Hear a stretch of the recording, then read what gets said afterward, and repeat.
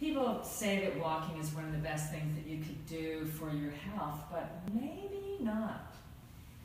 If you walk with your body all the way drops down like this, or like this, or like this, or like this, and any other variation in it, you could be really hurting yourself as you walk by faulty alignment, by all the weight.